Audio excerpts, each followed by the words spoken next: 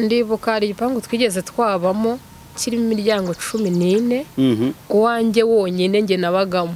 Niwe utarabagamo indangamirwa. Reka mba ariko mvuga ni we wari umubyeyi ni we wari umubyeyi wari umugore w'umugabo. Abandi bari bari indangamirwa ndumva ariko mubivuga.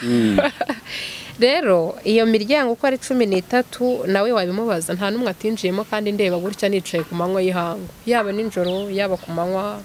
Kuko ndibuka no kwimuka no kwimuka sodoma habaye gusenga kwishi kwishi pe naratagangaye mbona birakunze ndahavuye. Rero ye n'ubundi nabaga muri karambo hariya hejuru gisipo. Urabona karambo na sodoma ntawe bitaniye ni hamwe. Yahitaga ya- yavaga isafari yava isafari kugira ngo yambuke aze mu rugo agahita yigira sodoma.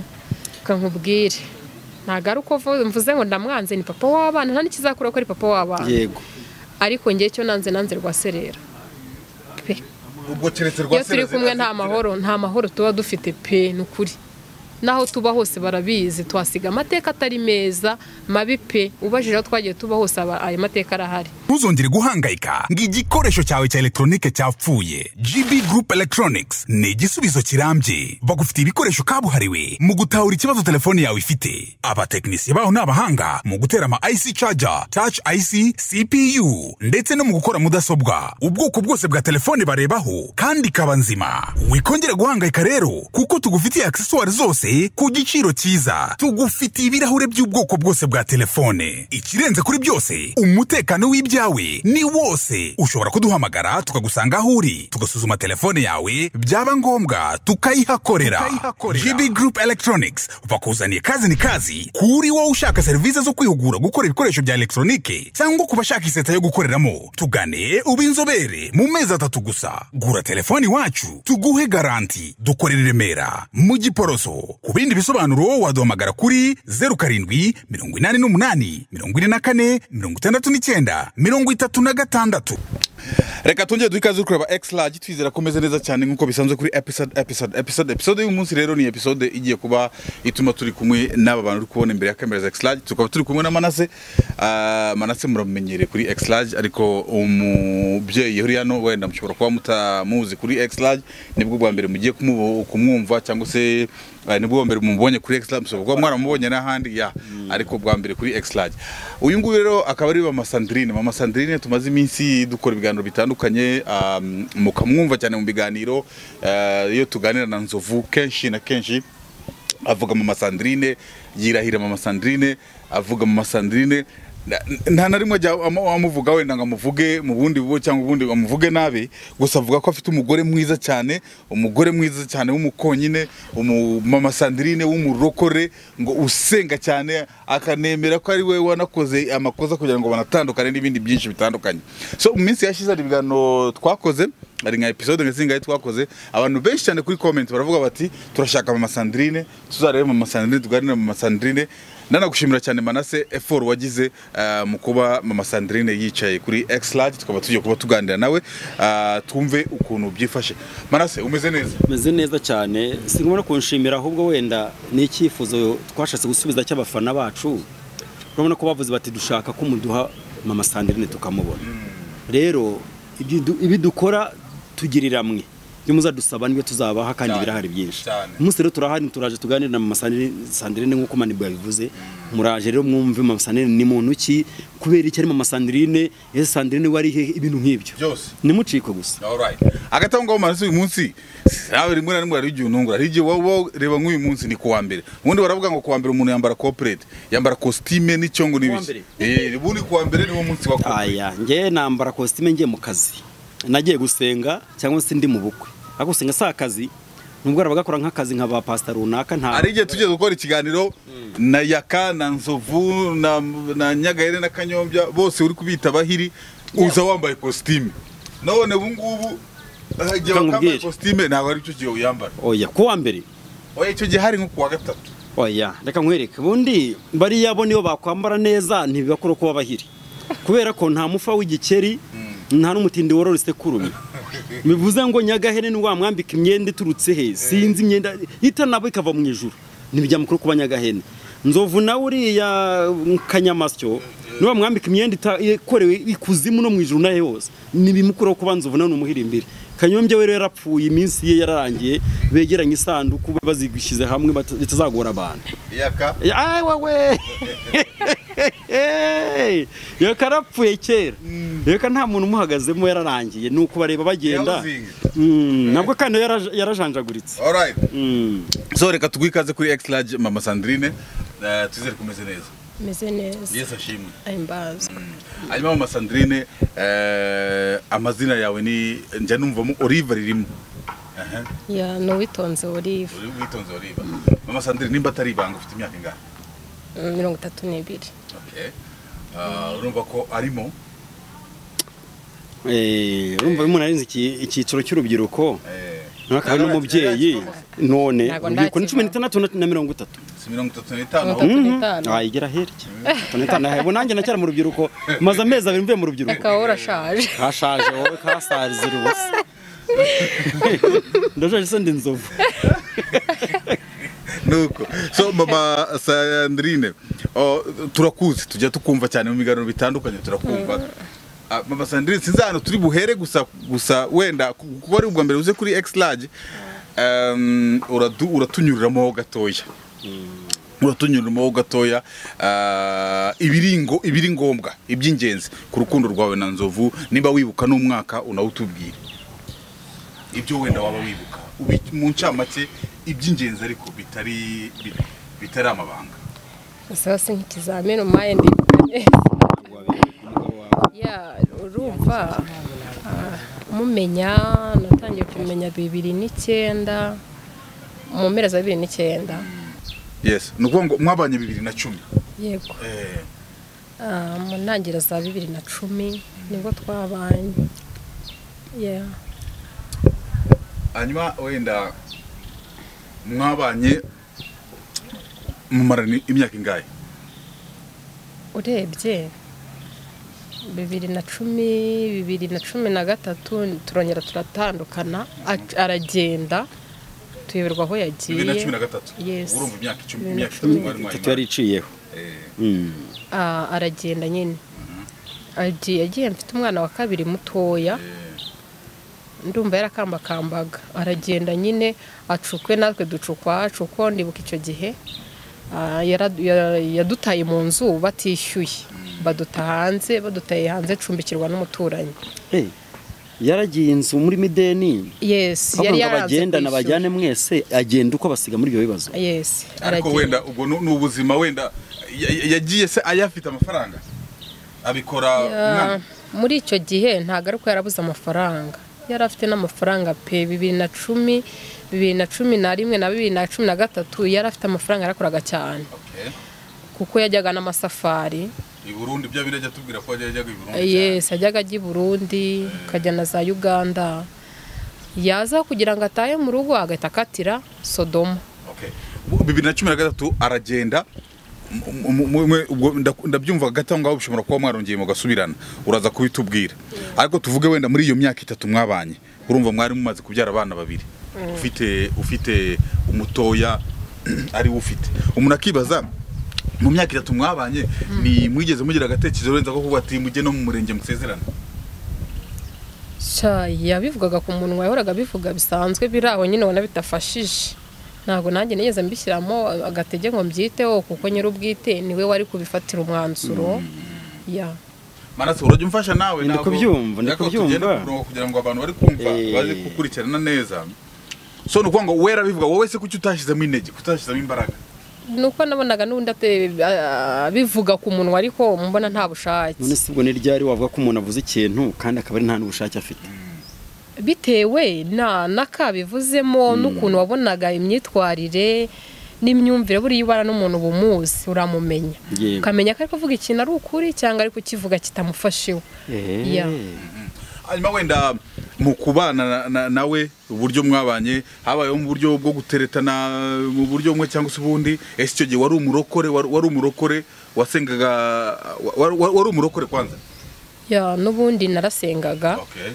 yego. None se umuntu Kuva na akibaza- kera njye namye nsenga n'ubundi. Abantu b'abarokore kenshi na kenshi baba adeperi biragoye cyane kuba yagira gutya ngo ashakane n'umuntu azi wenda ushobora kumuha agatama byagenze gute? Waramwihanganiye uzi ngo azahinduka ya hari ukuntu dutegetswe kwera imbuto. Kwera imbuto aho ubona bishoboka naho bidashoboka kuko ntabwo uzi aho imbuto zizaturuka. Ya rero ah, nabonaga yuko agomba guhinduka. Eh, icyo cyo kira- kirashoboka rwose. Ya nari nanabyizeye kuko nzi ko nta muntu imana iba ibyo idahindura birashoboka ko wanabana n'umuntu umutumweho izo mbuto uzamwerera byatuma Yes, zikaba ari zo zimuhindura. Yego. None wasanze inzovu wo guhinduka. Rero hari igihe we ukera imbuto mu kuzera ukabona ahubwo nyiri ukuzeraho kugeza igihe ari agenda arushaho umusaruro ahubwo kuzikobora ukabona zitaranakomera yes. Agenda arushaho kuzangiza. Yes. Inzovu we ingana no gukarabya inkoko mu maso ntiyapfa kutazangiza n'ubundi. Bibiri na cumi na gatatu rero agira gutya aragenda. Mwagize ikibazo nyine bibaho abantu bag- bagira gutya bagahura mu bintu bikomeye habaho kirize aragenda. Acukwe namwe mucukwane. Yego. Okay. Mwongera gusubirana ryari? Bibiri na cumi na gatandatu mu mpera. Oya se Ubu imyaka itatu yose? mutari kumwe? Yes. Bibiri na cumi na gatandatu mu mpera. Ubwo hagati ya bibiri na cumi na gatatu na bibiri na cumi na gatandatu iyo myaka irimo hagati nayibayemo njyenyine. Uri wenyine n'abo bana? Yes. Ko ndibuka nabaga agashyekero base muri iyo myaka mukajya muvugana uretse wenda kuba mubana? Namubonaga gutyo kuko urabona nabaga agashyekero w'abasodoma yego. Nkamubona nyine atambuka agenda. Biri aho kuko ndibuka ko muri iyo myaka mo hagati notsaga ibigori hari amajerwa Mm. ya nahokereje ni ho nosaga ibigori. Nicyo kintu cyari kintunze njye n'abana. Ariko hagati aho ah, yaradusize mu kudusiga dusiga nta n'igiceri cy'atanu mfite badutaye hanze n'ibintu babikingiranye n'umumama wari uncumbikiye ari umumama w'inshuti yanjye batuye Dar es Salaam Tanzania. Mm.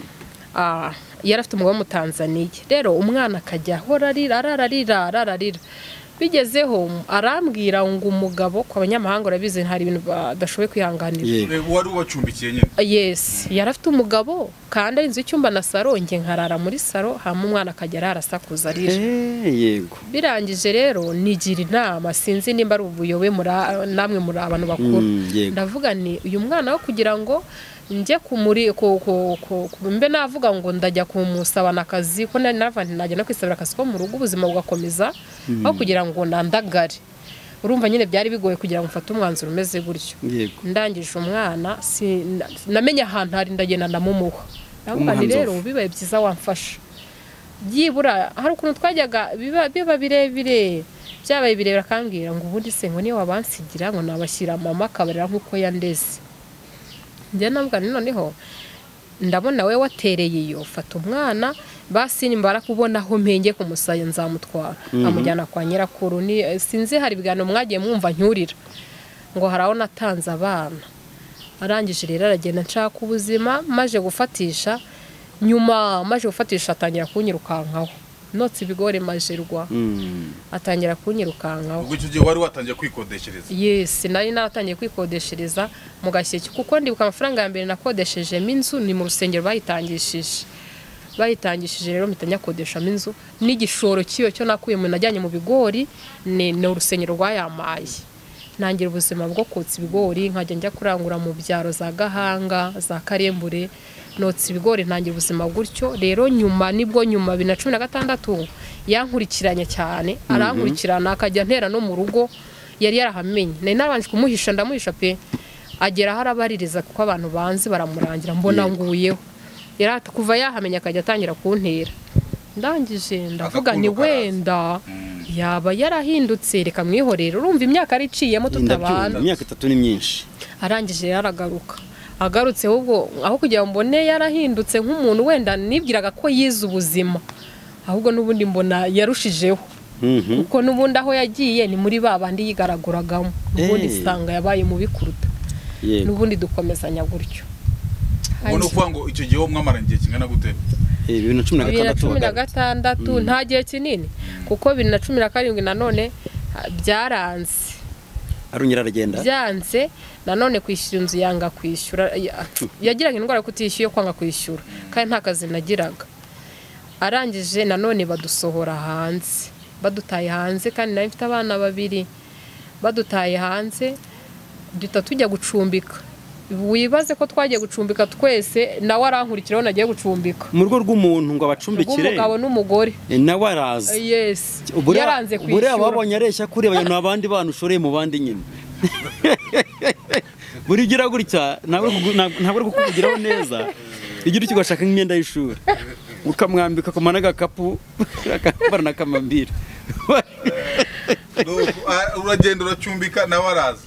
None si icyo gihe wenda ku makuru wari ufite wowe buriya kenshi na kenshi ndashaka wenda tumenye. Ese wowe wabonaga ko afite amafaranga akaba yagundira reka nkubwire cyangwa wabonaga ko nawe wenda ubuzima buba bumukakaranye no. Yakoreraga amafaranga yarakoraga. Ntabwo ari ukuvuga ngo yabaga yabuze amafaranga. None se ko yakoreraga amafaranga akabona yatagaguza atanga atanga atanga atanga apfusha ubusa ajya no mu bindi nk'ibyo byose ntavuze. ikigaragara cyo nta mugabo ujya mu ndaya hajyamo abanyamurengwe. Nta ndaya z'ubuntu zibaho. Niba umuntu yemeye kuzijyamo bivuze ngo hari icyo ari buzihe. Rero icyo yazihaga yari amafaranga yakabaye atunga uwo muryango n'abo bana. Niba rero kuko yaragendaga yarayafite ahubwo nuko atayatanga buriya ni umuzima bw'umurimo nzova ku masengesho cyangwa akajya kuvuzwa bya nyabyo. Reka manase Eh. tugarukire tugarukire aho ngaho utangiye guca imanza. Urumva? Reka tugarukire muri bibiri na cumi na karindwi ubwo muga- musubirana mukongera mukagera turi dufite abana babiri kandi ubwo. Ya icyo gihe twari dufite abana babiri. Yego. U- uwa gatatu yavutse ubwo uwa gatatu wamusamiye hajya muri bangahe ubundi? Mufite abana bangahe? Batatu. Bane. Bane? Eh, bane. Yes. Bibiri na cumi na karindwi muracyafite babiri.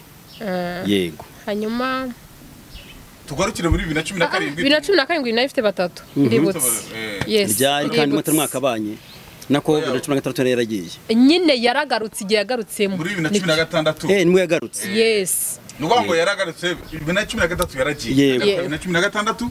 Ban- byara eh, kuko eh, babanye nk'umwaka. Yes. Mm. ni bwo yagiye gucumbika reka tugarukire kuri bibiri na cumi na karindwi aho ngaho. Hanyuma dusubire inyuma. Mama sandrine wenda tugarutse nk'umuntu w'umurokore uvugisha ukuri. Wa- nk'ukuntu watubwiye wat- washakaga kwerera imbuto umugabo wawe.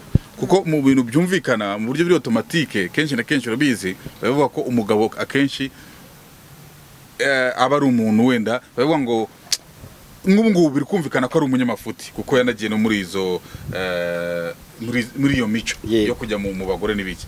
Umuntu akibaza nk'umugore bajya bavuga kenshi na kenshi kugira ngo umugabo agire gutya ajye muri muri izo bene izo ngeso. Ngo umugore aba yabigizemo uruhare. Imyitwarire yawe wenda ushobora kuba wenda nawe ukemanga uvuga ati ibi wenda bishobora kuba byaramusunikaga kugenda akaba umugabo uri irresponsible. Ni ibiki? Ibintu byatumaga atuzuza inshingano akumva ko yajya muri abo bagore bandi. Reka nkubwire. Nta na kimwe. Nta kosa nari mfite nawe uza- uzamwegere muri mwenyine kugira ngo byizere muganire azakubwira. Kandi ngo nta n'ahandi hantu andega ubu ubwe arega ko ari we winaniwe wananiranye. Ntacyo nta mahane nateraga nta kindi kindi. Mm, nzova akwiye kuvuzwa. Nanjye nabibonaga gutyo bigenda kuko ni umuntu utaratinyaga no kwinjira muri uriya muryango ndeba gutya nicaye uku twicaye ndi kumureba se- kwinjirayo kandi yara- ku nawe manywa abivuga. y'ihangu kandi nawe ndirenga nari nirengagije ko yabivuze ibyo bintu. Yavuze ko nzi ngo rwose yabikoze kuri ba bakangurambaga b'indangamirwa. Nawe ubwawe yarakataga akajya mu muryango mwegeranye ndibuka hari igipangu twigeze twabamo kirimo imiryango cumi n'ine. Mhm. uwanjye wonyine njye nabagamo. Niwe utarabagamo indangamirwa. Reka mba ariko mvuga ni we wari umubyeyi ni we wari umubyeyi wari umugore w'umugabo. Abandi bari bari indangamirwa ariko mubivuga. rero iyo miryango uko ari cumi n'itatu nawe wabimubaza nta n'umwe atinjiyemo kandi ndeba gutya nicaye ku manywa y'ihangu. Yaba nijoro yaba ku manywa. Akagenda nk'ugiye naninjiraga atera umubu. ntabwo ari ukuvuga ngo ni ibintu yahishaga sinzi nimba ari ukwera imbuto cyane nimba cumi na gatandatu agaruka cyangwa n'inyuma aho aho n'imbere yaho navuze. Na nyuma yaho rero yarakomeje n'ubundi akajya abikora bya bindi. Kandi agataha ukamutekera? Ya nari nshinzwe kwera imbuto nk'umuntu w'umukristo. Ntabwo bivuze ngo nimba aje azanye amafaranga ndamwakira nata naza atayafite na- igihe cyose ntegetswe kwera imbuto. Niko bigenda. Nkamwakira. Ya rero none se mama. Sandrine kuki wowe nawe mu gukodesha akenshi wisangaga uri mu uri gukodesha hagati mu- miryango y'indangamirwa ukisanga ari wowe wenyine utari Ah, gukodesha kundi aho twabaniye bwa mbere ni ho hantu habaga izo ndangamirwa. Ahandi hose kuko ari njye wagenda gushaka inzu nashakaga heza. Ariko mu gushaka heza n'ubundi ntabwo yatumaga njya kure y'ako gace. Kuko ndibuka no kwimuka no kwimuka Sodoma habaye gusenga kwishi. Kwishi pe naratagangaye mbona birakunze ndahavuye. Rero ye n'ubundi nabaga muri Karambo hariya hejuru Gisipo. Urabona karambo na sodoma ntawe bitaniye? Ni hamwe. Yahitaga ya- yavaga isafari yava isafari kugira ngo yambuke aze mu rugo agahita yigira sodoma. Kera na bibiri nkazumva bivuga ko sodoma nyine nkazumva ngo nta papa cyane siko yavuye isafari yaje ntiyaje rya ariko ntamubonye. Kumba amaze iminsi yibereye ahantu. Kandi nawe arabivuga rega byose arabivuga avuga ko yagendaga akaza amafaranga ngo ari indangamirwa yitwaga yemera ko ari indangamirwa zayamaze pe. Arabyemera. Nuko bibiri na cumi na karindwi rero ubwo ikintu nashakaga aho ngaho ni ukujya kumenye ese wowe nta ruhare runaka wabigizemo? Mu kuba wenda yaragiraga gutya aka- aka- ubona byaba imbarutso yo kuba yaragendaga ntarwo pe. Nta- ntawivuga neza ariko nkurikije n'ubuhamya bwa- ntawivuga nabi. Nkurikije n'ubuhamya n'aho twabaye hose n'aho mwageza n'unzi wese. Arabibona arabivuga. N'ubu yabikubwira. Kandi nawe nta cyandega urabizi. Eh. yesi bibiri na cumi na karindwi ha- ha- harageze murongeye muratandukanye. Yego. Mwongeye gusubira mwamaze igihe kingana gute mutari kumwe bibiri na cumi na karindwi dutandukana twavuye aho twari ducumbitse aho hantu twari ducumbitse twese. Eh, ubwo yagusanze nawe tujya ah, murumuna we agera aho ajya kuducumbikira. Mu- afite murumuna we utuye hano mu mudugudu wo kwa ba kwa ba kenisi ya ni ho atuye Murumuna we ajya kuducumbikira yesi yego. Tubayo tuhabaye tuva tugeraho tuva mu nzu ze dukodesha hafi ye. Tukimara gukodesha hafi arongera araduta. Ubwo bigize kangahe? Sibaye gatatu? Gatatu. No- none se utararengaho mbere bataga wenda mwabuze n'ubwishyu n'iki naho kwa murumuna we byabaye ubwishyu kwa murumuna we ho murumuna we urumva yageze aho aravuga ati "Mwi- mwiyaranje noneho. Iminsi mbacumbikiye wenda irahagije mwakabe mwari Yes, Aha. nuko byagenze. yego. Hanyuma dukodesha impande yaho. Nta nubwo hari ukuvuga ngo yabateye kwa murumuna we icyo gihe nanone.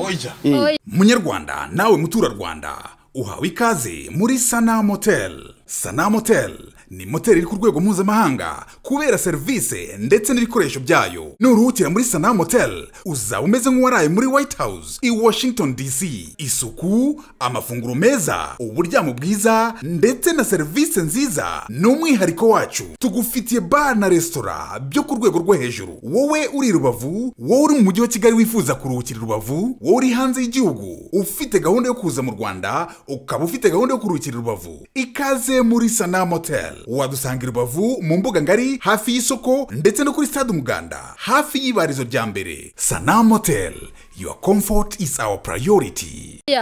Murumuna we murumuna we habayeho ukuntu avuga ati rero gute?" Yego. mushaka inzu mwimuke nanjye iyi ngiyi ndashaka gushyiramo umukiriya akajya anyinjiriza yesi. Kandi koko byarumvikanaga. Yego. Hanyuma rero tujya mu nzu yo- gukodesha impande y'umuvandimwe. Yego. Arangije tukinayigeramo nta n'ukwezi kwishize. Ahita agenda ajya ku gisenyi. Yigumirayo ahubwo nzovu ikintu mwize kumva ashobora kuba agira aleriji yo gukodesha. Uba gukodesha bimutera ama aleriji cyane. Urumva iyo babaga bari mu hantu hasaba amafaranga nta kosa yakoraga. Yagumaga hamwe ubwo nyine muri we nyine icyo adashaka ni ukuhabwa inshingano za kigabo ashaka kwiberaho nk'abana.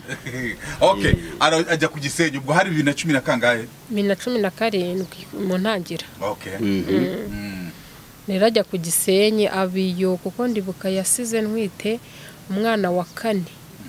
Ari we mutoya mfite ubu. Agenda avuga ngo ajya gushaka amafaranga ngo yo kuza kwishyura mituweli. Yagiye ntwite inda y'amezi abiri aragenda abiyo abiyo ndamubura n'amakuru ye ndayabura. Noneho nsigara mvuga ngo ubanza yaranapfuye. Ntitwabimenya. Yesi Mm. ibanza yaranapfuye ntitwabimenya. Ubuzima naho buranga kwishyura nta kintu nari mfite nari ntwite nta nta bushobozi namba nari mfite biranga ufite abana byanze. batatu uri kurera n'uwa kane uri yego. Birangije ubwo urumva hagati aho abakuru nta nubwo bigaga kubera ubuzima. Mm. Arangije rero biranga. Byanze mabukwe arambwira ngo ngwino hano. Ni nyanza iwabo. Nyine. Ndangije yesi ndavana wenda ubwo umubyeyi ambwiye ngo nze biri amahire reka ndeke kugumya gutayanjwe inaha ngende kuko ngewe nta babyeyi ngira. Iyo mbagira mba narabasanze sinjye kurushya abandi. Eh wowe nta babyeyi ufite? Ye yego. Ndangije rero njye nyanza. N'abana batatu n'inda mbayo ubwo icyo gihe cyose ntabwo tuzi amakuru ye n'iwabo ntibazi amakuru ye nta n'umuntu n'umwe wari uzi amakuru ye. Mm. twari tuzi ngo yaranapfuye kumbi yibereye hehe ku gisenyi. Yego arangije rero mba kwa mabukwe ku mwana muto ndibuka ari naho namubyariye. Eh. na navuye kwa mabukwe. Yaje si- ntumbaze uko byagenze. Ya- nyuma y'aho mbyariye yaje asanga afite uruhinja. Ndi ku kiriri. Urumva igihe cyari giciyemo. yego. Mhm. araza nyine ngo aje baramubwira ngo naragiye ngo kwa nyina. Mbona arahansanze. Mama we rero nawe aratubwira ati rero mushake inzu mwimukiremo dore murya- muryango mugari. Kandi kuko byari byo. Tuyijyamo. Tukimara kuyijyamo nanone nta n'ukwezi gushize arongera arigendera none turamubura. Nyanza mu cyaro noneho i Nyanza. Yes kandi nta nta munsi y'urugo nta nta kintu na kimwe sinanahazi ni bwo mpagiye. Ahita aca arigendera. Ubwo ni na cumi n'umunani yari yarabyaye yes. Ubwo ntibibaye inshuro ya kane? Yego. Agenda tutazi ngo bimeze bite. Rero ubuzima nawe ni uko kuntu bwagiye bugenda bugenda. Aho sasa ni ho ukeka bishobora kuba byarabaye finali ufata umwanzuro. Cyane Ah, ariko pe. mwigeze mwongera gusubirana? Hagati aho nyuma ya bibiri na cumi n'umunani. Hagati aho navuye i Nyanza. I Nyanza naho byaranze. Yagusize i Nyanza aragenda agusiga i Nyanza yego. Ubuzima bw'i Nyanza nabwo burangora kuko niwo nasabaga n'ikiraka cyo guhinga. Kuko nubwo nabaye i Kigali cyane nari nzi guhinga. Niwo nasabaga ikiraka yarambwiraga ngo nta banyakigali bahinga bakanakanyima. Biranga nyine ubuzima buranga. Yego. Bwanze mfunga umwuka nanone abana basiga kwa nyirakuru. Cyakora natwaye umukuru kwanga kuba mu nzu ngenyine ndangije ndaza nzi nta gushaka ubuzima narabuze ningera i kigali nkafunda nkafatisha ubuzima nzaza kwitwarira abana ndagenda nyine. Nuko nagarutse muri kigali. Hanyuma undi nawe sinari nzi ngo ari he na niyo saha ntabwo twari tuzi ngo ari he. Ibi byose byabaga tutazi aho yagiye. Ndangije ndaza rero ubwo ni ibintu mu ntangiriro za bibiri na cumi n'umunani. Nibwo naje rero nzi naha nshakisha ubuzima nabwo nacumbikiwe n'umuntu nk'amezi nk'abiri. Umukobwa w'inshuti yanjye.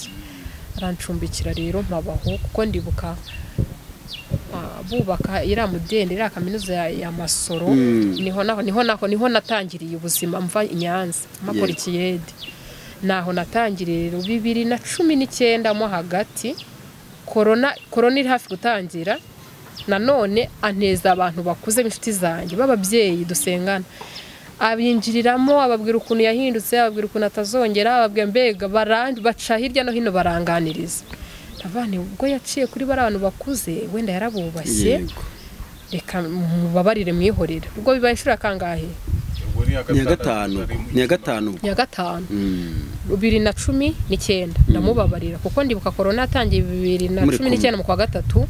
Bibiri na makumyabiri. Bi- no korona yatangiye ya mbere yatangiye bibiri na cumi n'icyenda. No. Yeah. ni bibiri na makumyabiri mu kwa gatatu. Cumi na n'ubundi. yes Mu kwa ubwo ya ubwo naho rero nari ndibeshyemo. Mhm. aho mwari kumwe? Ko- korona rero yatangiye amaze ukwezi Musubirana. mubabariye agarutse Yego. kandi iteka ryose wumva aza asanga ngewe aho aza ansanga aho wagiye gufonda aje gushaka yes. ubuzima. Arangije rero araza korona itangira tumaranye ukwezi. Ndibuka iriya filime ya metere nzovu ayikina ndi no mu bantu bagize ishyaka ryo kugira icyifuzo cyo kumusengera kenshi. Musaba icyo gukora nta kazi yari afite. Arangije barakabonye ndavana nubwo abonye akazi yasinye kontara y'imyaka itatu wenda aragira turasezerana ndamwe noneho ugihembwa amafaranga mbere uzahembwa. Tuzahita tuzana abana. Ngewe urumva nari mfite ishyaka ryo kwizanira abana ngo birumvikana. nirerere abana. Arangije arambwira ngo yego. Ahembwa ukwezi kwa mbere yitahira hamwe yatahaga kera sodomo ubwo nabaga hano masoro ukwa kabiri gutyo kwa gatatu. Ntabwo nabiyoberwaga nabaga mbizi. Baranampamagaraga. Ngo dore ari hano ngo ari kwa runaka kuko sodomo abantu bose baranzi Mu nanjye ndabazi. kandi. yes. Mhm. nyine nkabifata biraho ntabwo nshoboye gutera amahane nta nubwo nabiva nta n'umwanya nabibonera. Nigumira aho nyine nkishakira ubuzima nabona icyo kurya nkarya ubuzima bukendereye. Rero birakomeza noneho azanamo n'amahane. Yarayamaraga agataha. Mm, iyo yamaraga amafaranga akiyafite ntiyatahaga. Yayamara asigaye ari zeru nta n'ijana agahita ataha n'abazimu. Rero ngumya kurwaza ubuzima gutyo urumva namurwaje kenshi gashoboka kenshi gashoboka pe. Ntago waba uri kuvuga ngo ngo ngo ngo utewanze umuntu umutereye iyo ngo umugarure rimwe kabiri gatatu. Njye nibwiraga ko yabaga ahindutse. Rero ndangije ndavana ibintu ntabwo byazavamo. Agumye gutera amahane. None yarasigaranye amahane. Buragira amahane. Mm. yarasigaranye amahane akajya aza yanyweye akaza atongana akaza aduhindamo ubudehe ndabese noneho ba- banamutiririje ubwo bari barasigaye i ibisazi wabi bari bataraza. Yari kubazana yahembwa akazana amafaranga. Yego. Ko icyo gihe nagize amahirwe ah, muri aho hanarangiye mpita mbona akazi. Ariko kaka n'ubundi eh, eh, nkiriho ka- kamfasha gupfa kwishyura inzu.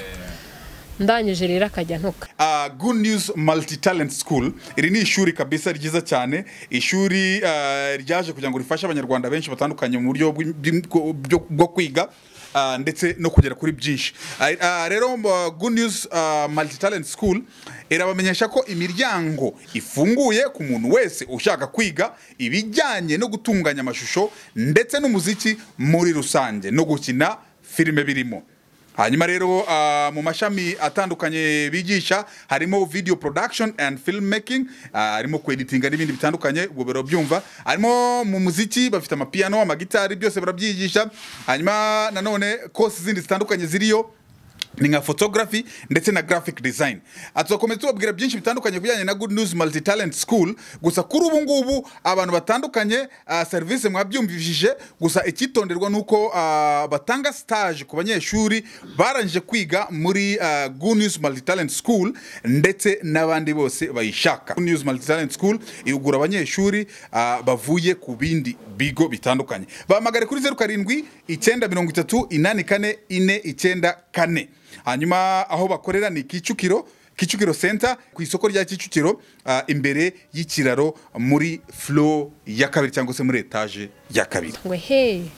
Ngo wabonye akazi ngo wigize ibi n'ibi ni noneho agasinda akansindira. Sinamubwiye nabi nta kosa nakoze none icyo gihe n'ubwo n'icyo gihe cyose ya- yakoraga ayo mafaranga muri kontara ya metero inzu ni njye wahembwa duke twanjye ngahaha ngashyira ibyo kurya hehe mu nzu. Kwishyura inzu none yabona binahari n'ibyo bikeya pu none ahita yidagadurira rimwe. Ngo mu rugo hari hari ibyo kurya amafaranga kontara yose irinda irangira nta kintu na kimwe akuyemo. Rero birangije none turongera turatandukana. Bibiri na? Bibiri na makumyabiri mo hagati. Mm. ni bwo twatandukanye. Nawe mpita mva ntabwo ibi byazavamo. Ubuzima nta hantu buri kunjyana ahubwo araza nkahita nsubira hasi burundu. Ndava ntabwo byazavamo. Iyo ndi njyenyine nta siteresi mba mfite abana bararya nkohereza amata y'abana narahembwaga uko mpembwe nkahita nohereza amata y'abana. Icyo gihe ni bwo wa- wa- wahise umwirukana? Ntabwo namwirukanye. Njye ntabwo namwirukanye. Wafashe umwanzuro uri mu yari asigaye turara duteza amahane muri karitsiye. Atari njye ari we. Akaza akarara ahondagura ibyugi akaza akarara asakuza yasinze n'abantu muri karitsiye mu gipangu aho turi mbese. Noneho banyitwaramo umwikomo kuko ninjye yaje asanga. Bakajya bavuga ngo nabazaniye ah, umusazi ngo ararateza akavuyo mu gipangu. None ndava rero nigira inama ndava ibintu ntabwo bizavamo. Tutazanicana hejuru y'ibintu nabwo mbona bitanashinga nta kintu bimariye. Bita mfata umwanzuro ni ukuri musiga muri iyo nzu ningero warayishyuye nasize nanayishyuye. Ndigenda aravuga nti komeza ubusazi bwawe. Tuye kumwe n'abana? Umunsi nubona watekereje. Uza- uza- u- u- watekereje. Uzashaka icyo gukora. Ngiye nkomeje ubuzima. Icyo gihe wari kumwe n'abana noneho. Nari ntarabazana. Yego. nasi umva nari kubazana muri iyo- zagara zagara. Ah, kandi nabaga mu kazu gatoya ka shamburete gato pe. Umukuru ni we twari turi kumwe. Ndangije rero mpita ngenda niko kwimukira i kanombe ari naho nyirizi isa n'ubundi nkiri muri kanombe. Mpita nigirayo ndiyubaka ndiyubaka ndibuka muri korona ya ka muri guma mu rugo ya kangahe ya kabiri ni bwo abana baje. Iwabo bamuzaniye abana barabamujugunyira mama we na mushiki we bazanye abana barabamujugunyira. Bakibamujugunyira uwo munsi babazanye impeta mbakira ndabitwarira. Na n'isaha tukiri kumwe n'abana. Ni ngiye byose ninjye papa ninjye mama. Rero ndi kwirera abana izi saha tuvugana. Ndacyari njyenyine kuva icyo gihe. Rero ubuzima bwa- bwanjye ubundi ntaho bugiye bushingiye. Okay, ni ukuvuga ngo iyo ni ya ncamake twashaka kugira ngo byibura tumenye ukuntu bihagaze. Gusa mu biganiro byinshi duhora dukora na, na, na nzovu nawe amakosa arayemera. Ariko nk'uko manase yigeze kubikomozaho hari igihe umuntu akora ibintu wa mugandi ugasanga ni nk'ibindi bintu bimwirukamo. Nawe iyo yicaye mukaganira uba wumva nawe atazi ibyo ari byo amakosa arayemera. Ariko ikibazo ni ukuyakosora. Amaherezo akabaya ikimba uzi ikintu kimbabaza hagataho ni abana banjye ni abana banjye kweri. Uzi kugira ngo maje naho kugira bazi ubwenge. Nk'umukuru n'umukurikira. Yego. Bazi ubwenge pe. Mm. ariko wenda ibintu kuko urumva kenshi na kenshi we yafata umwanzuro ukumva agiye wenda nk'uko ngo mu ndangamirwa akerekana ko ari mu rukundo cyangwa se niyo akubwiye urumva arabiganira akabivuga akabivuga yisanzuye yirekuye. Ah, abantu benshi bakavuga bati umugore ashobora kuba yaramunaniye cyangwa se akamutera za stress we akabonera amahoro muri ziriya ndangamirwa. Umva rero nkubwire sinzi n'abantu bamukurikirana. Ba- bajye banamubaza ku ruhande ngira ngo nimero ze ziba ziriho. Bamubaze ngira ngo azajya ababwira ukuri. Njye mu masandina nta kosa ndega. Nta kosa ndega. Njya ngerageza no gukurikirana ibintu akora. Ibiganiro akora n'iki ntarya ndega n'ubu nawe nta n'iryo yabona. Nawe ubwo aricara akambwira ati nta kosa mbona nkurega. Ahubwo ni njye wakunaniye. Ahubwo akambwira ngo njye nsenga menshi imana izamuhindure. Rero ndasenga ariko urumva nzovu ikibazo afite ni kimwe. Nzovu iyo afite amafaranga ni bwo aba mubi. Wasabira umuntu kutagira amafaranga se kugira ngo abe mwiza? Hari icyo wari uvuze ngo umugore yaba atameze neza akirukira mu ndangamirwa ngo ni ho ashaka amahoro. None nta mahoro yo mu ndangamirwa. Kuko agenda ari icyo abashyiriye we ntacyo ajya gukura. Eh. none se atayafite atayafite ko atajyaga iyo yabaga adafite amafaranga ko ntaho yajyaga ninde bari kumwakira? se urumva rero ntiwasabira umuntu ngo amafaranga. niyo kumutera ibibazo ngo Urumva tumusore iyo abonye kutayagira. amafaranga arahinduka. Ntabwo ahinduka ni ukubura uko agira. Niko ari nese umuntu ushobora guhekenya umwumbati umunsi ukaryama wanze akanyama se hariya. Nibwo ni- ni bwo buryo ahubwo aba afite kandi ikindi wibuka ko agenda abasize mu bibazo. Yakumva hari ukuntu batangiye kubaho ati kanze bivuze ngo naho bari ntabwo aba aregamye. Ni kwa kundi kuba avuga ati Aba yigaye. ndarara aho mbonye. None se mama sandrine nk'ubu ngubu iyo kanombe wagiye. Ntago azaho utaha. Mu minsi yashize yarahamenye ngerageza kumuhisha pe nkagenda nkamara igihe naramuhishe kuhanga iyo yamenye ahantu ndanteza rwa serera. Ese ubu yaramenye nabwo yaragarutse arashaka kongera kugaruka bimeze bite? Yarahamenye mu minsi yashize nagiye kubona mbona arambyukiye kare kare kare saa kumi n'imwe ni we watubyukije. Yanasinze n'icupa hirimana naryo. Mhm. ndangije impita naniyambara nigira ku kazi nyine asigarana n'abana. Arangije rero ngo ngo ngubu ngo nshaka ko dusubirana. Kandi ubwo bivuga ameze atya ari mu kavuyo. Mm. Ku buryo nawe ureba umuntu ukibaza ubundi uyu muntu azi icyo ashaka ashingira ku ki? Bikagucanga. Watekereza yuko nta sapoti yiwe n'ubundi wipapa ukimama bika- bigatuma yuko uhagarara ku mwanzuro wawe rero. Ubu wowe muri wowe nta gahunda yo gusubirana nawe wagira. Reka nkubwire. Ntabwo ari uko vu- mvuze ngo ndamwanze ni papa w'abana. Nta n'ikizakura ko ari papa w'abana. Yego. Ariko ngewe cyo nanze nanze rwa serera. Ubwo keretse iyo turi kumwe nta mahoro nta mahoro tuba dufite pe ni ukuri.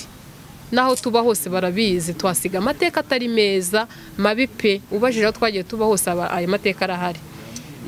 Rero ubu nta kintu kandi iyo ndi njyenyine narya ntarya abana baba bakwiga batakwiga uko bisa kose mba numva ntuje yesi tuba dutuje. Ese mugana uvuze ngo abana bakwiga batakwiga ubu bari kwiga? Naragerageje. Mm. bari mu ishuri kuko umukuru ari mu wa gatandatu azakora uno mwaka cya leta. Yego. Uwundi ari mu wa kabiri. Ariko uri mu wa kabiri yakabaye byibura ari nko mu wa gatatu uko biri cyangwa mu wa kane. Ariko hagati kubera ubuzima Mm. biga barengeranye. Nk'uri mu wa gatandatu. Uyu akaba ari mu wa kabiri sogonderi kubera kugenda ubuzima butuzunguza. Habaho igihe bicara ntibige nkabasubiza mu ishuri. Bivuze bagenda biga ubundi ntibige. Nuko ubuzima buhagaze. Bizi isaha tuvugana bari ku ishuri. Kuko na gatoya naragerageje muzehe yo kabyara yagabanyije ah, amafaranga y'amashuri nako ngashyira muri garidiyene kari kwiga. Ubwo rero abantu benshi batandukanye hagati aho ngaho batubwiye ko uh, bifuza ko mama sandrine aza mu kiganiro nawe akagira ibintu tubwira mama sandrine uboneka ku iyihe telefone. Ndakeka kuvuga nimero zawe ni mu buryo bwinshi. Hari abashobora kukuganiriza hari abashobora kukubwira bati reka no kugura iyo sukari n'ibindi nk'ibyo ngibyo ngo- nk'umuntu tuganiriye mu buryo bumwe cyangwa se ubundi. Ubundi uboneka ku iyihe telefone mbere yuko dukomeza ikiganiro. Ya nimero mbonekaho ni zeru karindwi magana inani magana atatu mirongo itatu n'umunani makumyabiri na gatatu. Zeru karindwi magana inani. Magana atatu mirongo itatu n'umunani makumyabiri na gatatu. Ubwo rero umuntu uri bwifuze kuba yaganiriza mama sandrine cyangwa se kuba ba- banavuga nawo ah, baza kuza kuvugana kuri iyo nimero Ah, gufasha umuntu si ukumuha amafaranga. Gufasha umuntu si ukumuha sapotinga mu buryo bw'amafaranga gusa. Ushobora no kuganira nawe ukamwumva urumva ni n'umuntu usenga. Kandi nk'umuntu unasenga ah, hari n'umuntu erega nawe wagirira wag- wagirira akamaro ubu ngubu ari ushobora kuguhamagara kuko yatuma amasandrine numva icyo usenga mfite ibibazo ibi n'ibi n'ibi ibibazo tujya kubihuza. Eh, eh. yego. Ubwo rero urumva ni mu buryo bwinshi. Hanyuma noneho wenda dusubire inyuma ho gatoya manase. Yego. Ubwo ngubwo wowe ari ukuntu wahise uvuga ngo ashobora kuba ari n'umuzimu ni umuzimu. Reka nkubwire abazimu ntabwo bagaragara bag- ntabwo babona n'amaso ahubwo ibikorwa byabo ni byo bigaragara.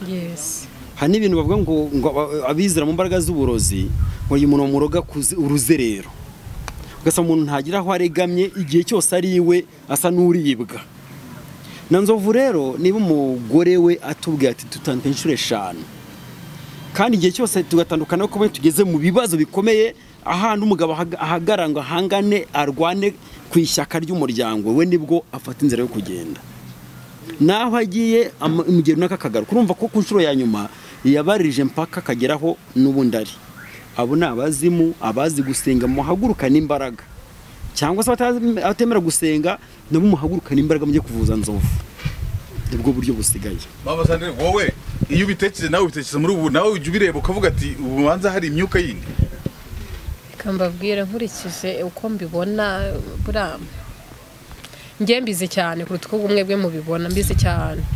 Mba mbona harimo izindi mbaraga umuntu atabonesha amaso ariko. Ya mba mbona harimo izindi mbaraga. Usibye ino ngeso usibye inzezo tuzi nk'uko udusobanuriye.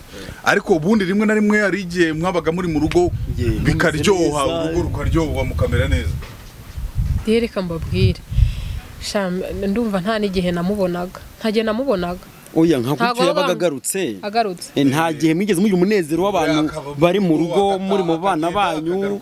nimugoroba mukaba biryoshye. Sha. Byabayeho gake gake gashoboka. Pe gake pe. Ubundi ngiye mbona ko ntabyo ntabyo pe kuko yahoraga aho nyine yahoraga muri ibyo birere. Ibyo birere ukumva ngo ari hano ari hano ari hano ari hano. Ukaba utanabona aderese ziwe. Nanjye ubwanjye ntasimbe nabona aderese. Kuko hari n'igihe cyageze cyageze ngiye nkajya mubura ariko hari ukuntu yakundaga umwana wanjye mukuru sandirine akamugendana sandirine amenya karitsiye zose rero akajya amenya aho yakatiye. Noneho twaba twashonje ariko twasonzaga akatwima amafaranga. Kandi ayafite nanayabonye menshi.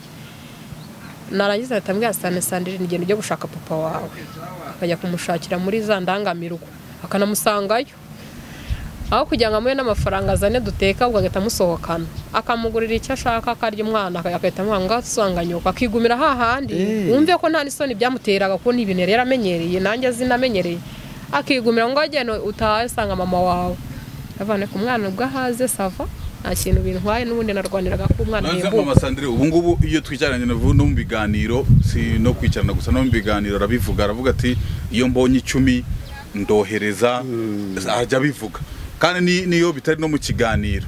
Tunaganiriye ku ruhande aravuga ngo nk'ubu ngubu gufatamo kimwe cya kabiri ndebe uburyo ki nohereza mama Sandrine wenda bampamagaye bambwira ko bimeze uku n'uku n'uku.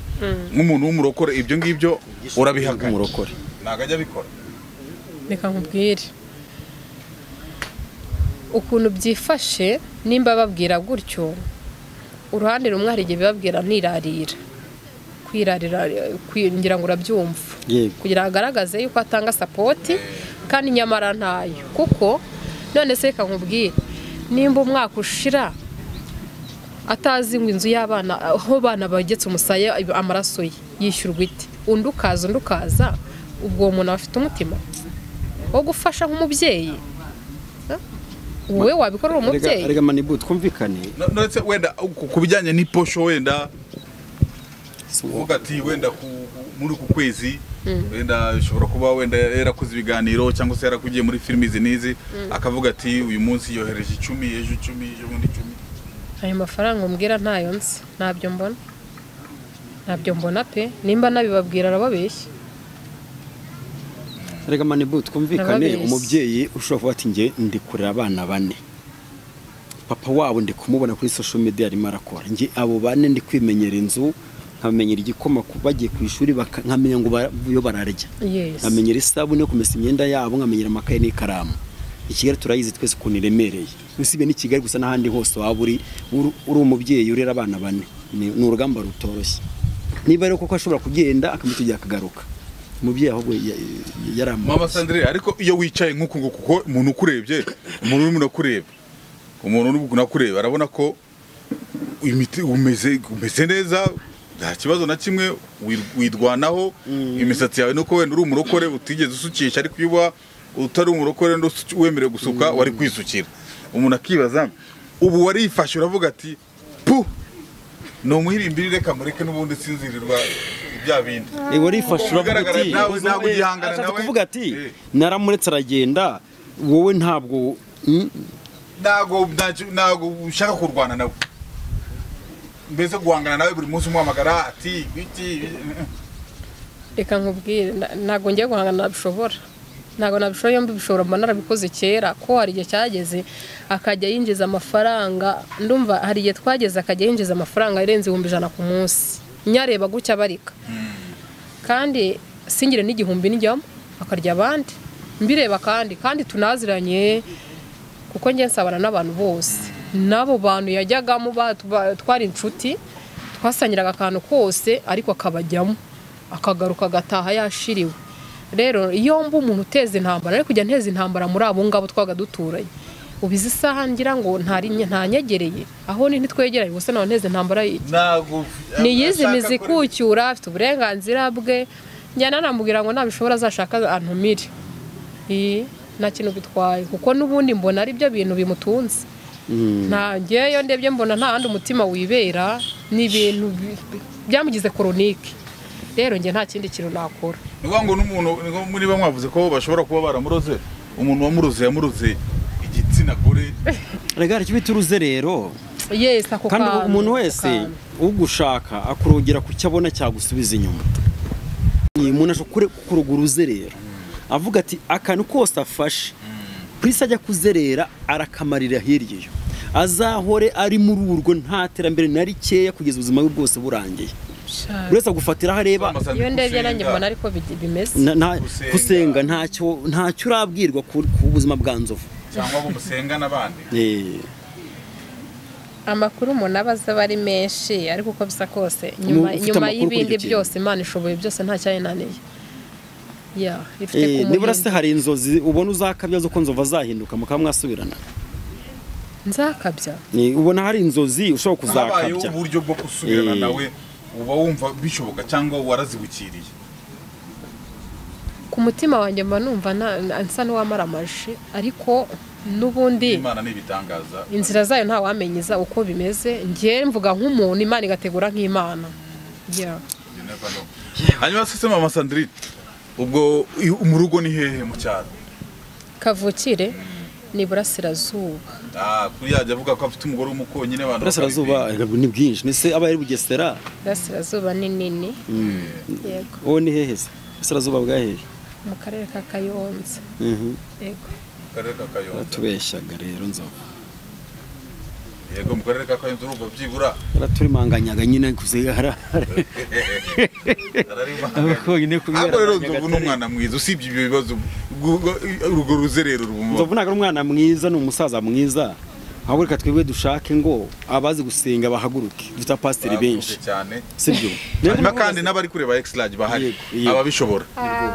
Baze guha mama sandrine support Yego. iyo ushoboye gufasha mama sandrine ni- niko gufasha nzovu niko gufasha abana ba nzovu kuko burya abana ba nzovu bariye uzaba ukoze umu- umurimo ukomeye cyane Ya. kuko umva na make nzovu yabona yayajyana uyu munsi nzovu umuhaye amafaranga runaka n'ubundi ni hahandi ariko uyamenyeye aba bana n'ubundi uraba ukoze umurimo ukomeye reka twikomereze mvuze nti abazi gusenga barahari nibasengere nzovu nadahinduka kubera amasengesho basi bajye kuvuza. Nzovu imyaka mirongo itanu n'umwe afite. Ese dukora aniveriseri wabimenye? Urabizi ko ufite imyaka mirongo itanu n'umwe? Wari ubizi? Ndumva ejo ari bwo nagiye kunuze mbona mwamufeteye. Ubundi- nabanze kugira ngo ni agakino kandi. Wowe wari uzi ko afite ingahe se? Nzi ko ya- yari mirongo itanu n'umwe ahubwo ahari ashyira itanu n'ibiri maho wari ubizi nawe oya nyine avuga ku itariki ya mbere z'ukwa mbere. Eh, urumva ye bivuze buriya mwarimu umufetenya kumufetera byari ibyanyabyo ni umusaza. Mu bantu bose reka tuba turi Abantu bose tugendana inzovu. aba ameze nk'umwana usanga n'umuntu rwose nk'umwana mutoya aba- iyo banaganira ababona nzovu ko ari we nk'umwana. Kandi nzovu ntacyo biba bimutwaye. Ariko buriya ku myaka arimo cyane. Ari mu urumva usibye satani ujya uvanga. utadutumiye se ngo duserebure ku isabukuru yiwe. twe twakakumenya uretse kukumva. Ukumva. Ariko ubutaha buriya wenda hari igihe so mama sandrine hari abantu bagufata nabi eh, ku ruhande rumwe. Bakumva ko ari wowe nyirabayazana bakumva ko udashaka nzovu bakumva ko nyine wamwanze. Ah, usibye ko abo ngabo nawe ajya abasobanurira akababwira ati ni we wananiranye. Wenda ku rwawe ruhande. Ntaguciye mu ijambo ubwo naba ari njye wamwanze nkaba naragiye ntandukana nawe nsubira nawe ntandukana sinabara inshuro zigeze muri eshanu. Bivuze nakabaye naratereye iyo nkamureka ariko namurwazaga nka papa w'abana. Cyane. Vuga ntiyarahindutse wenda birashoboka uko yari ari kera ntabwo wenda ubu ari. Yaza rero ugasanga biracyari kwa kundi abo bandi bibaza ibyo ni byo bibaza ariko ntabwo ariko biri. Wababwira ngo iki uyu munsi bari bazi ko mama Sandrine ateye ariko ko ashobora kuba nawe atari mwiza?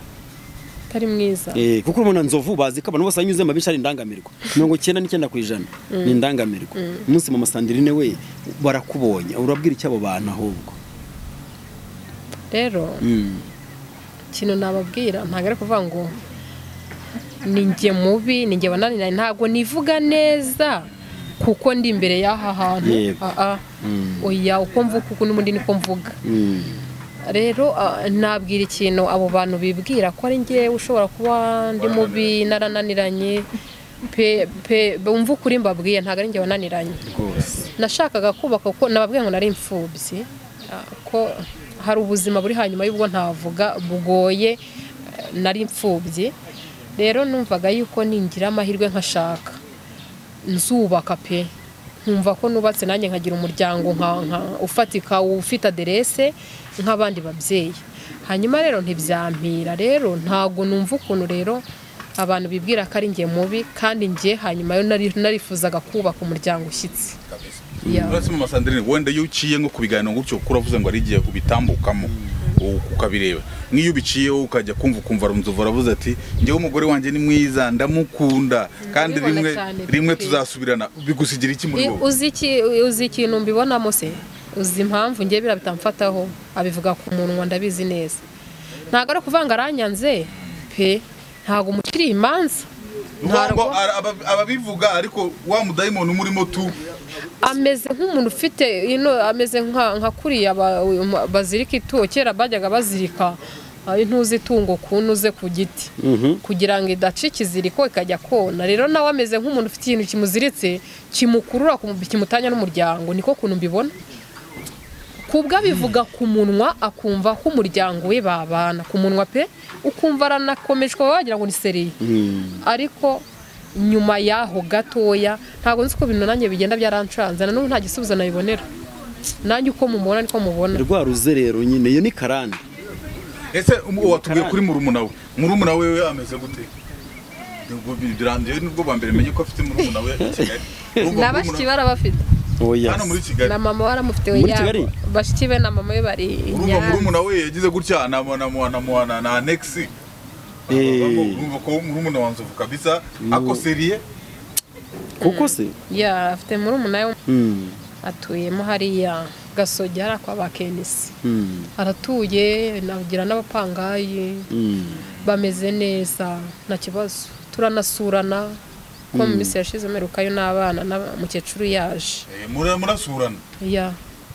Kandi ubwo mwasuranye n'umuntu nabo bariyakiriye. Urumva Eh, rero bariyakiriye. Nabo bariyakiriye. undi yibereye mu donc gashyikiro urumva ntibabura gusura nubwo nabo kumva baba abafitiye abana bazana reka. wumve ngo ninjye bahamagara bakabaza ngo amakuru ya runaka. Nkababwira ka kenshi na kenshi ninjye mba ntanayafite ntabwo rwose nanjye sinyaheruka nari kubwara aho twakabaye twarabimenye. usibye mama wa- we gusa umuruta mwese arabaruta. Cyane rwose. Nzovu n'umwana wa kangahe wabo? Uwa mbere.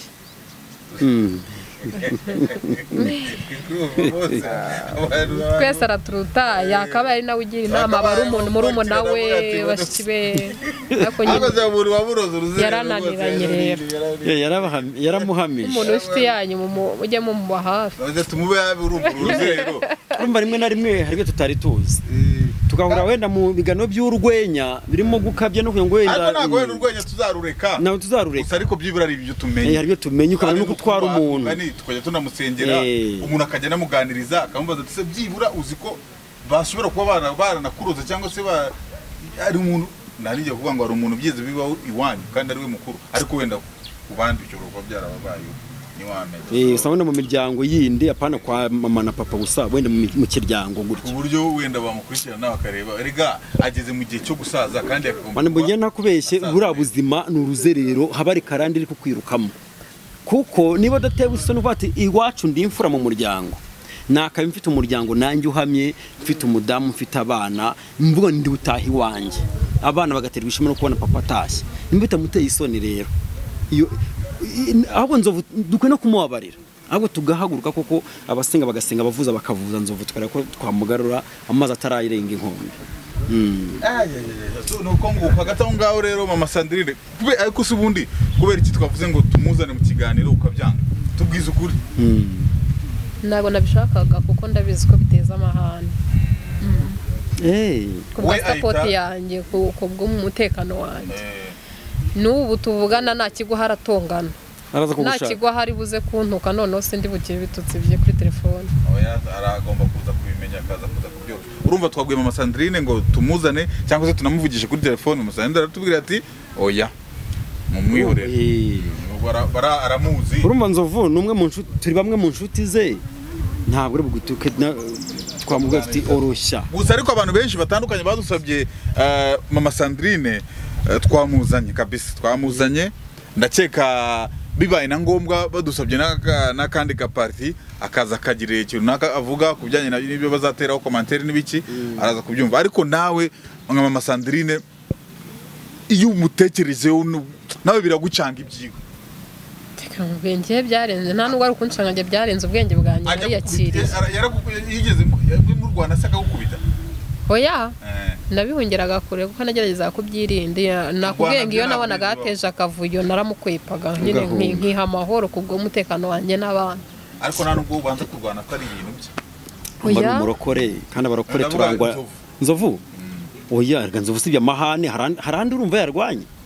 Kurwana ntabwo ari ibintu bye cyane. bashobora kumukubita ahubwo ariko we ntabwo yakubita umuntu. Nzovu ashobora kuba ageze hariya n'umwana atara yigeze akubita umwana mu myafu nibura yanga n'umuntu ukubita abana. Uze se wumva? Rero uriya ni uruzere bivuze ngo abana aranabakunda bavuze ko bafata agasandrine akajya kumusohokana bagasangira. Mm, ni we mwana wamuririyeho finge ariko Eh. abandi bose wapi? Kubera ikize ntabwo mbizi. Bari bari batoye ubwo ngubwo ntabwo impamvu we ya- yari mukuru amushyira imbere bakagenda. Urumva umwana wabashaga kujya kumushaka mu ndangamirwa aho aryamye akajya kumubwira ngo "Ma- papa turashonje. Ntabwo kandi ntavuga ati ubwo ntabwo ushonje wenyine batatu basigaye mu rugo fata basi ubashyire. Ahubwo ati irira aho ngaho witahire. Urumva ni bwo nzovu ntabwo ari we. Uruhande rumwe mufata nk'umuntu utagira umutima hari igihe bincanga nkavuga ko ubundi uriya muntu aratekereza agira umutima agira impuhwe za kibye bikancanga hari igihe bincanga nanjye nkabura igisubizo n'ubu nta mwanzuro nabibonera. Ntabwo ku rundi ruhande ukavuga ati nk'umuntu wamuroze ni we wamuhemukiye simvuze ngo natera hagati ngo umuntu wamuroze ntabyo nzi. Ariko abaye ahari yaba yarahemutse rwose. Hakuze umuntu ugusahura ubwenge bwo kwita ku nshingano z'abana bawe ku bana yawe. Wamuroze yaba yaramuhamije. Abana bakaburara bakabwirwa ba- bakicara ntibige na hari ibintu bukurura nawe ukumva ntubyumva. Rero kurera abana muri uyu mujyi wa kigali bane biragoye. Niyo mpamvu mvuga ngo hari ibyo mbona mbabonera bakayibona hari n'ibyo ntababonera bitewe namwe muri ababyeyi umujyi wa kigali uragoye. Ariko ubu ngubu byibura hari ahantu ufashe wenda urwaza rwaza ukavuga uti cyari ahantu maze iminsi ndi gutera ikira kandi ndi gukora mm, biraho nyine biraho bi- nta bintu ntibifasha kwishyura inzu. Siteresi n'ubundi mporana na zo n'ibibazo nkarona na byo. Ariko byibura nkamenya ngo aho nakuye. nk'umuntu wigeze kugenda ugakora nk'ako bizinesi k'ibigori haramutse habonetse n'uburyo runaka ushobora kugenda ugashinga n'akandi kantu. Yesi kubera- urumva rero ndakeka ah, bari buze kuza gukurikirana bose bafite umutima. Kandi na nzovu buriya rega ntabwo twamurenganya wenda ngo tugire gutya tumu- tumushugunye ntabwo twamujugunya ahubwo tubonye aho tugomba gushyira imbaraga. Eh. Eh, habonetse. Cyane. Kandi nawe ndabizi arabikunda cyane. We nzovu buri munsi nzovu buriya nubwo wenda tutigeze tubimenya. Undi ikintu mu ki- bantu bamukoresha nk'ibiganiro n'ibiki bagiye bagira gutya bakamubwira ati nzovu tugiye gukoresha ibiganiro. Ariko byibura. Abantu bose. Uragabana. Kwanza banza umenye ufite abana akwiye kurya kereka ari ukuvuga ngo umukoresheje ikiganiro. Abavuga nyine ko byose abikumenyererega. Ni aho hantu hari n'amafaranga yabyiciriye yigeze gufata avuga ko n'ubundi yaguhahiye byinshi amakawunga n'ibiki. Ibihe. tuguhamagaye. Ariko yaramuhamagaye ndibuka. Ati mama sandiri nta kawunga nakuguriye. Ati ese kuki unshyira mu itangazamakuru? Ubu uramukubye nta mafaranga yaguhaye nta kawunga yaguhaye yego. Nanze kumutanga. Hari ukuntu mbaho mu bintu byo kwanga kuvuga. Sinari nabyanze n'ubundi. Hari ukuntu nawe se kubera amenyereye ko akenshi ampamagara ari imbere y'itangazamakuru. Wenda abantu ntibiraho nyine duhe ukuri noneho live turi ukuri mbahaye ntabyo. Iyo kawunga avuga uwo muceri avuga ntabyo. Koko. Ndi papa nk'imama. Nta na make yaguhaye se kuri amafaranga aracyari kuri konti nk'uko ejo ejo nabonye ikiganiro ngo nimba aherutse kubona ibihumbi magana atanu na cumi na kimwe. Numva umunyamakuru ari kumubaza. Ntibibonye ejo? Hari ukuntu nga telefone sinanabyitaho kandi ntabwo mbyitaho ndabizi ndanabibona nkanabicaho kuko mba numva nta mumaro nta mumaro bingirira. None se mbikurikirana bimarira iki? ubu urakibonye. Ndabisimbuka nkanigenda none ejo nkiguye ndavanika numva aka kantu. Mpita nkumva ariko mu minsi yashize yigeze yahamagara abana aravuga ngo ngo hari umuntu uri muri amerika? Ndumva ariko yavuze ngo ngo yamwemeye kuzamuha ngo ibihumbi magana atanu. Ngo mu nimba ari mu ntangiriro z'umwaka bibiri na makumyabiri na kane mu mpera za bibiri na makumyabiri na gatatu maho ngo ninyabona ngo nzashaka ngo ukuntu ngo mbaremera biri aho abana bicara ku cyizere. Na n'ubu wumve ngo barakicaye ku cyizere nimugoroba ni bwo na- mu gitondo nababwirane rero bakaguyeho. Ni akadaranodinze mu gitondo mbona babyutse bakumva ngo ngo papa y'amafaranga arayakiriye ntiyaduhaye. Ndavuga ni mwiyakire. Arangije aravuga ngo ngo yakemuye ibibazo ngo yaguze kawunga n'umuceri. Mwanya w'ibyo byose bya kawunga n'umuceri na- navuga ati byibura hari umwana umuzengereje umaze iminsi umwaka n'inkweto. Ubu tuvugana ari kwiga na bodaboda zicitse. W'umuhungu umwe wa gatatu. Araje aravuga ngo papa baranyirukaniye kubera bodaboda zinacitse. Abona amafaranga umuntu w'umubyeyi nimba ari umuntu ugira umutima ntanabatereka ngo urebe n'umwana inkweto yarazinsabye na n'isaha akaba akiri kwigana izo bodaboda? Aho yara aba ari kubeshya abamukurikirana ngo yatanze sapoti ariko ntayo. Ntayo babyumve nk'ukuri ntayo. So, abantu batandukanye nk'uko mwabyumvishe muraza kuvugana na mama Sandrine yabahaye nimero manase reka byaba byiza ari mama sandrine abagiriyeho umugisha mukamuhamagara kuko hari ibintu byiza mugiye kumubwira iyo, iyo nama se iyo sapoti mu buryo bumwe cyangwa ubundi mwumvise ubuzima babayemo uko bumeze si bwiza. Uwakabugize bwiza ari we mukuru w'umuryango ikibazo afite mwacyumvise. Reka rwose niyo twanabisoreza ariko wenda pati tu niba ikenera bitewe n'uko hari ikizaba cyahindutse wazadura ako kanya nanone. Sibyo bitewe. Yego. Don't worry rwose imana irahari kandi kandi urasengerega. Jya umenya ko unasenga nizeye imana ariko. Ese mama cyayinaniye. ko ukiri mutoya mu isura uragaragara ko ukiri mutoya n'ubwo wenda ufite imyaka mirongo itatu n'ibiri uracyari mutoya. Ubuse urashaka kutubwira ko nta nta gahunda ya gahunda. nta gahunda ya gahunda. telefone ko uyifite ubu ntabwo cyangwa waheze muri siransi igihe cyo kubona ntabwo iri seranse none se ntabwo ari ijajara bakubwira ati mama sandrine. Reka nkubwire. N'uwayo bamubwiza ukuri. Ni ukuri kose. Ubwo nanjye kuri icyo nanjye kubaza ati se kugeza n'ubu? mufite. Mfite inshingano zo kwita reka nkubwire. Ubu nabona umwanya wo kwirukanka muri ibyo nkirengagiza ko mfite abandi ku mutwe. umugabo aje akakubwira ati njyewe rwose ngiye kuguhindura ubuzima reka mbahe urugero iyo nza kuba ndi umuntu ukeneye kubikora. Ibyo ubwo bugoryi kubukora ngewe mbwita ubugoryi. Ko ni ubugoryi? Nta muntu muzima utekereza ugomba kujya muri biriya bintu. Iyo nk'ubikora. Ha- ha- ha- aje ashaka kubaka ntabwo tuvuze uburaya. Eh. Eh, muri kumbaza eh, kubaka. eh, hakaza ubu nta mugabo uraza ngo akubwire ashaka kugushyira amago reka nkubwire ntabwo uwo mwanya wabyo mbifite. Ntabwo mvuze ko batavuga ariko ntabwo uwo mwanya mufite ni ukuri. Uko niko kuri Eh, mfite inshingano zo kurera abana banjye ni wo muryango mfite njye nabwo ndi imfubyi mm. ni basaza banjye ni barumuna banjye ni ba papa ni ba mama ni byose. Uriya ni wo muryango ni wo rwose. muryango mfite. Rero ubwo bugoryi ntabwo mfite umwanya wo kubwinjiramo. Ariko wabona Kandi- ufite imitoma ya indi ya downloading wisanga reka nkubwire njye ku mutima wanjye narakomeretse nta kintu ndumva nta mugabo ubitanga ibitabo bimeze ite? Hari abagabo baba bafite imitoma bakuye dubayi mishyashya ese yakura muzi? yakura muzi? Yaka ndamuzi. Muri mwabona nimbona nkuboneze Ah, ndamuzi. Eh. Mu biganiro gutyo nawe? Oya aramuzi live. muzi bisanzwe kuko ni inshuti y'umugabo wawe. Abakinnyi benshi nari mbazi ko bazaga no mu rugo. So rero ubwo ngubwo ah, ku masengesho basengere yaka. Ibintu bigende neza nako nzovu. Ariko na yaka n'ubundi iryo iryo jambo ho riguye. Bahere wenda yakowe nta nshingano nyinshi ari kwica ariko basengere yaka nawe atazagera hariya. abantu. Urumva ah, ntiwabimenya kabisa. Ariko nyine hari igihe dushobora kuvuga ko ari n'amarozi ugasanga wenda ni imiterere y'umuntu. Ariko se wenda ntabwo ari imiterere. Ari uyu mama w'abana urumva inzira avuze yaciyemo na nzo ari za ndangamirwa twahuye na zo na zo zakubwiye uburyo abayeho. Ko rimwe aza hano avuye hariya yayamariye hariya mundi akaza kurara. Mbese ubwo urumva bose muvuga nabi. mwango no mu ndangamirwa arabizibikora newewe ndetse nta ndamirwa nta nta yabikwibwiriye ko iyo atanyuze aba yaciye aha kandi bakaza guhura ahantu runaka.